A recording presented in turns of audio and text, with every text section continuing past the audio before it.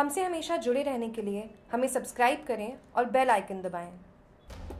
ये खबर है जालौर ज़िले के सायला जीवना गाँव की, जहाँ बीचों बीच बना हुआ एक जलग्रह अचानक गिर गया जलग्रह की सीढ़ियों पर बैठे लोग वहाँ से तुरंत उठ गए और एक बहुत बड़ा हादसा होने से बच गया बताया जा रहा है कि प्रशासन ने काफ़ी समय से उस ओर ध्यान नहीं दिया था और इसी कारण अकाल राहत की तीन दुकानों में भी दरारें आ गई हैं और बड़ा गड्ढा बनने से पास ही सीसी रोड भी टूट गई है। वहाँ काफ़ी लोगों की भीड़ जमा हुई और पुलिस प्रशासन भी मौके पर पहुँची।